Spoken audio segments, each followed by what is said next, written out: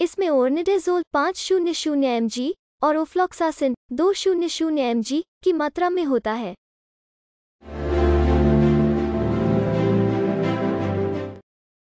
ओर्निडेजोल parasites और एनेरोबिक्स bacteria को kill करता है।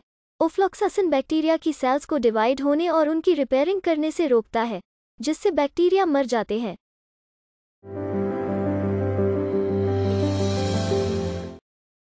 इसे डॉक्टर के बताए अनुसार डोज में और ड्यूरेशन तक ले। इसे मुँह में डालते ही निगल ले। इसे तोड़ने या चबाने की ज़रूरत नहीं है। इसे खाने के बाद ही ले। धन्यवाद।